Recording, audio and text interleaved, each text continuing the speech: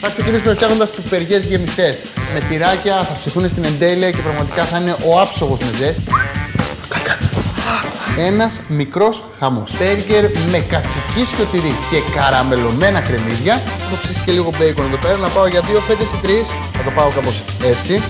Και το απόλυτο ζουμερό αποτέλεσμα στην απόλυτη του εκδοχή. Ένα παγωτό σε τρεις γεύσεις, σοκολάτα, βανίλια και φράουλα, παρφέ σε χρόνο 0. Kitchen Lab Ό,τι καλύτερο υπάρχει. με τον Άκη Πετρετζίκη. Σήμερα και κάθε Σαββατοκύριακο στις 5 παρα 20 το απόγευμα. Και φυλάκια πάρα μα πάρα πολλά. Γεια σας.